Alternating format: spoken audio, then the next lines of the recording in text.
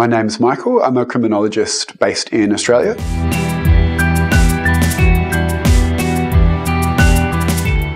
Um, coercion is a really important concept for young people to understand. Um, coercion really means that someone is making us do something uh, that we wouldn't otherwise have done if we felt like we had a choice.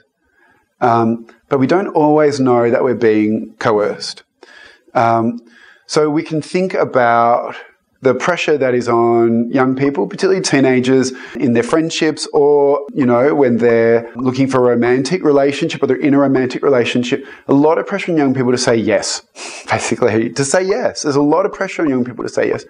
And when you don't want to do something, there are particular ways that people can coerce you and you don't notice it, maybe. So, one way is persistence. So someone keeps asking you again and again. So, um, you know, to ask for a nude, for example. Yeah. Will you send me a photo? Will you send me a pic? Will you send me a pic? I just want a pic, right? And it's just, it's coming time and time again. Same with sex. Like, can, can we have sex? Can we have sex? Can we have sex? And just again and again and again. And you've already said no and someone's persisting. So this is a form of coercion. It, they are wearing you down, right? You've already made a decision, so why aren't they backing off, right? So persistence is one thing we need to look out for. Um, the other one is exchange. So it's like, um, well, if you send me a, a pic, then you know maybe we'll start a relationship, right? Um, if you really cared about me, if you really liked me, I don't know if you really like me. I, I, I won't know unless you send me a pic. That's what people do when they like each other. They send pics, right? So there's this exchange aspect where if you do what I want, I'll give you something you want in return.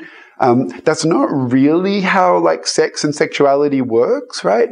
It's not an exchange, right?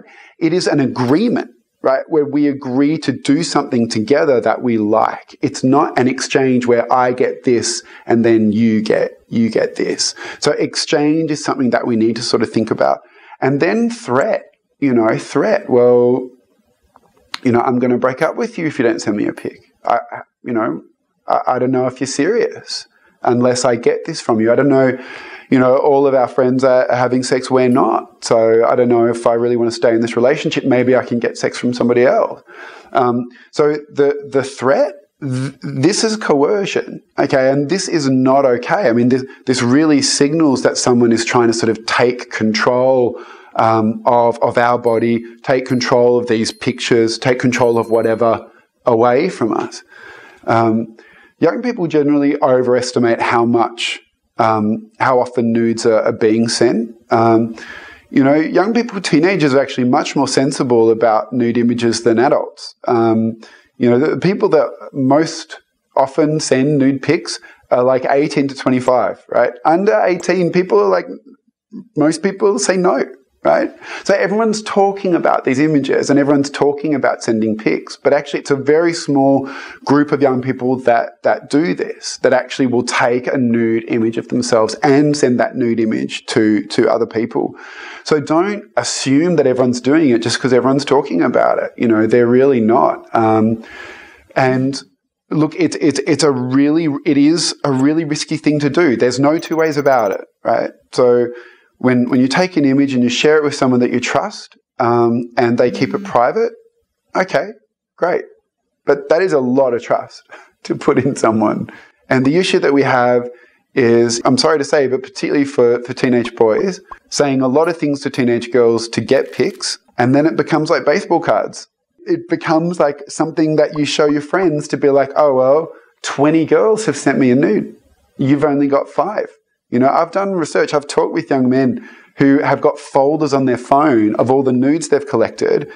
And they're not using these images necessarily for sexual purposes. They are showing these images to their friends. But what they're saying to teenage girls is, oh, well, I want to be your boyfriend.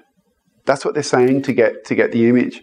So it's, it's, it's really something that we've got to keep in our mind, you know, all the time. Um, whether we're teenagers, whether we're adults, is once that image is out there, it really is out there.